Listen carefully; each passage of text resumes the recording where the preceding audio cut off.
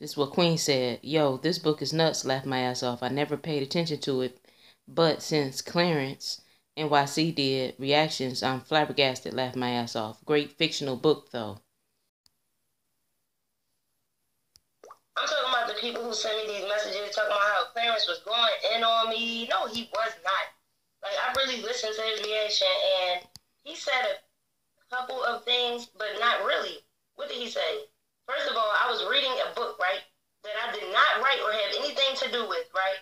And he said when it came to the part about him having a fifth grade reading level, he gonna sit there and say um, something about the way I read, talking about something I was on an eighth grade reading level.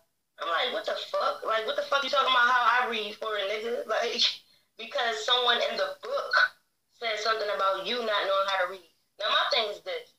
It's not like it's far-fetched.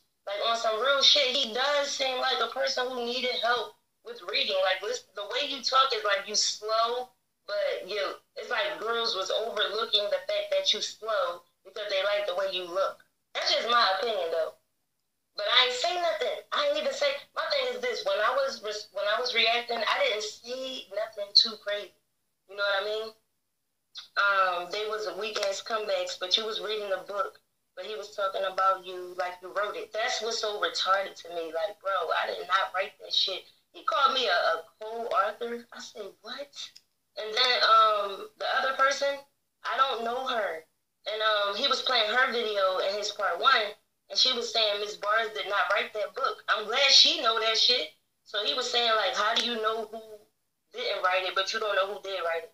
My thing is this now, like I have all kinds of emails and the book, you know, I have emails from people telling me a book was coming out and you know, me talking to them about it. I have DMs from people asking me if I heard about it when I never knew anything about a book. You know what I'm saying? And to be honest with y'all, I don't have time for that shit. I be busy as hell. And from the people I do counseling with, I have actual clients. Okay? I'm over there doing therapy with them, and then I'm trying to keep up with these YouTube videos. Remember, I was telling y'all, like, I, am going to get better with, you know, uploading content because I, when you get paid to talk, it's kind of hard. So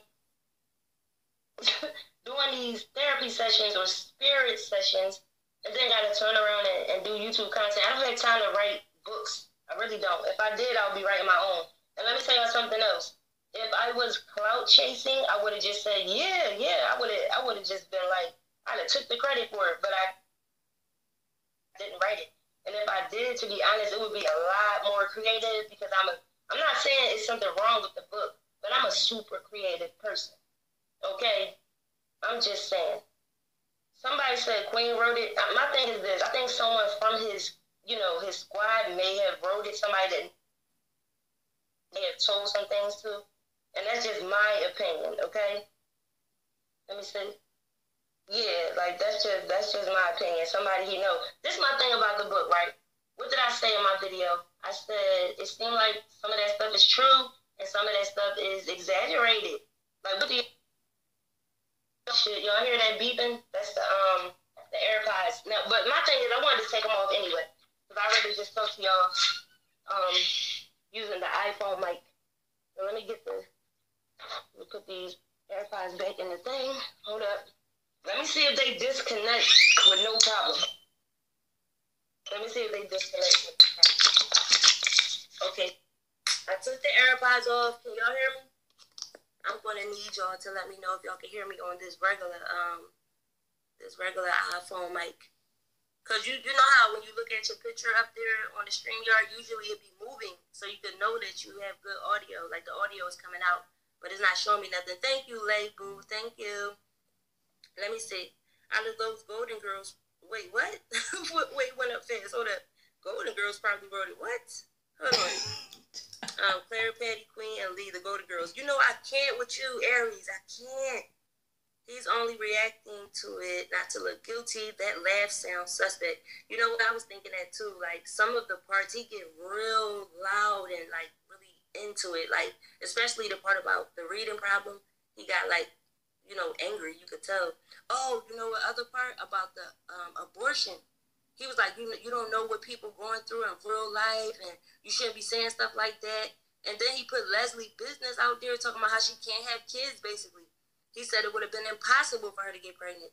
But the way he was saying it, it made it seem like it made it seem like it could have been a miscarriage and not an abortion.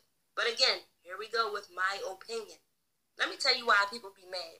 Niggas be mad because I get paid for my opinion, but they have to stay in the motherfucking comment section and get other people paid.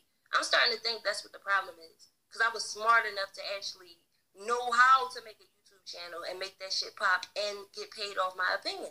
Think about that shit. Y'all are like people's comment sections be way worse than the shit that I say. You know what I'm saying? I go in the comment section, I'm like, damn.